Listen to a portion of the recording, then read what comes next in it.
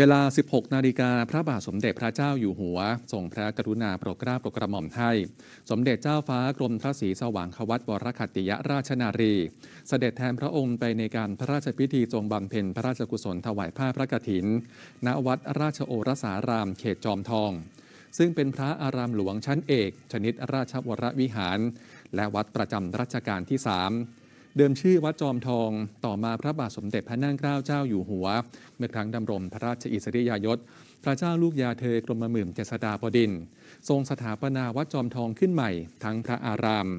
เนื่องจากเมื่อครั้งที่ทรงยกทัพไปสกัดทัพพม่าที่ด่านเจดีสามองค์กาญจนบุรี ในพุทธศักราช 2363 เมื่อกระบวนทัพเรือมาถึงวัดจอมทองฝั่งธนบุรี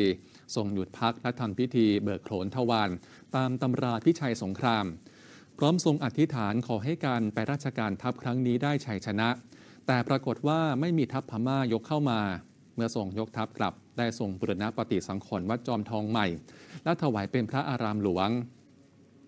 และในสมัยรัชกาลที่ 4 ได้อัญเชิญพระบรมราชสรีรางคาร พระบาทสมเด็จพระนั่งเกล้าเจ้าอยู่หัวมาบรรจุไว้